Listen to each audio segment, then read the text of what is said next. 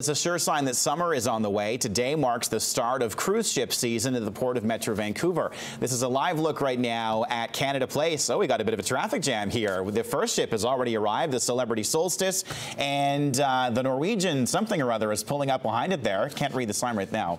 Alaska cruise ship season kicks off, of course, this morning, and it looks to be on par with last year's strong showing. About 812,000 passengers expected to come through the city of Vancouver. Organizers say each time these floating cities drop anchor here, they stimulate more than $2 million in economic benefits. Broken down even further, that amounts to 283,000 hotel stays in Vancouver, 6,000 direct and indirect jobs, and $220 million in wages and tax revenues for all three levels of government.